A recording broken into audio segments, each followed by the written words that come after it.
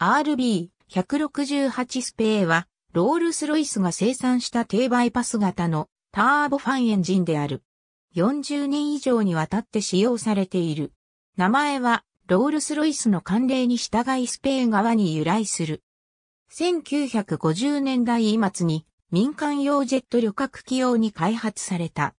後に軍用航空機にも使用されたほか、ガスタービンエンジンとして船舶用にもマリーンスペイとして搭載された。さらに民間航空機用の新型エンジンである程の基礎にもなった。航空用の基本モデルは5000万時間の飛行時間を達成している。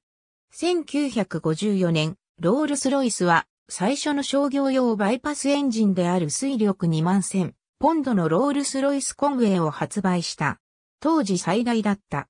しかし小型のシュドカラベル BAC1 から11やホーカーシドレートライデントには大きすぎたので、より小型のエンジンを開発することになった。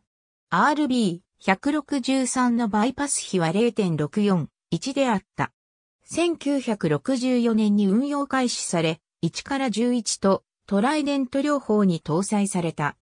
1960年代を通していくつかのより強力な派生型が作られたが、1970年代に入ると、よりバイパス比が大きく燃費の良いターボファンエンジンの台頭により民間企業としての運用は終了した。